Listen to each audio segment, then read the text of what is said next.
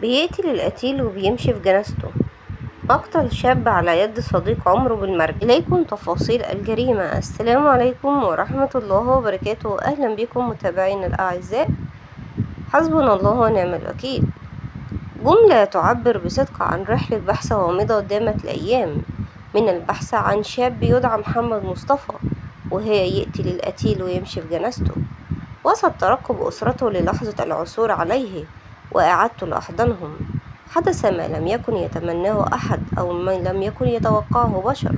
بعد العثور على الشاب جثة هامدة مدفونة في أحد العقارات بمنطقة المرج عثرت الأجهزة الأمنية على جثة الشاب محمد مدفونة داخل حمام شقة صديقه ومغطاة بمادة لتمنع انبعاث الرائحة الكريهة حين تعفن الجثة. والصدمة تكمن في أن صديق المجني عليه الذي عثر على جثة محمد داخل شقته. كان يكثف من البحث عنه برفقة أسرته.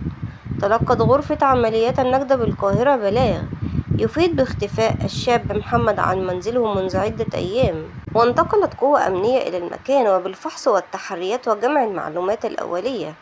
استمعت جهات التحقيق إلى أقوال أصدقاء الشاب المبلغ باختفائه. وحين تضييق النقاش عليه اعترف عن محل تواجد الجثة.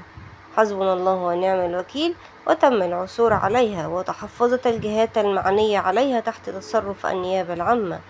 ويكثف رجال المباحث من جهودهم لكشف ملابسات الواقعة واتخذت الجهات المختصة الإجراءات القانونية اللازمة. بقينا مش عارفين عايشين في إيه بقينا عايشين في غابة.